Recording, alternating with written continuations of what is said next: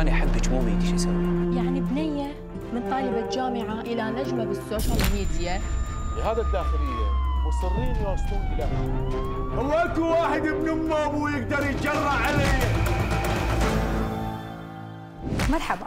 في إطار درامي يلقي مسلسل كاتم العراقي واللي وصف بالجريء جدا. الضوء على علاقات المال والمصالح واللي تتعارض عشان تشكل أحداث خطيرة ومثيرة.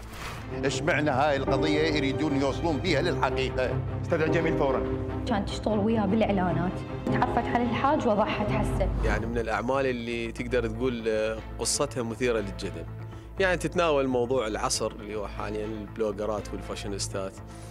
القصة مأخوذة من آه، قصة حقيقية.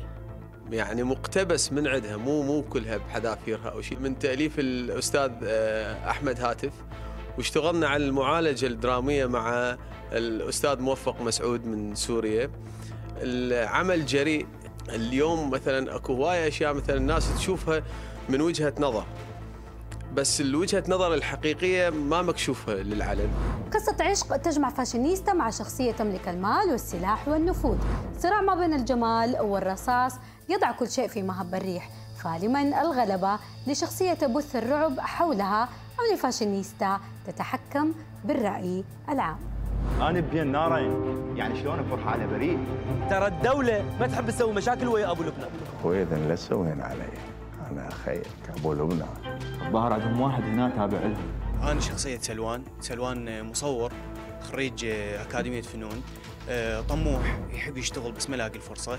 آه، جت الفرصة عن طريق آه، بنية فاشينيستا. ف قام يحبها مشكلة العمل مالتنا يعني آه، مو مو مو بالأفراد المجتمع يعني.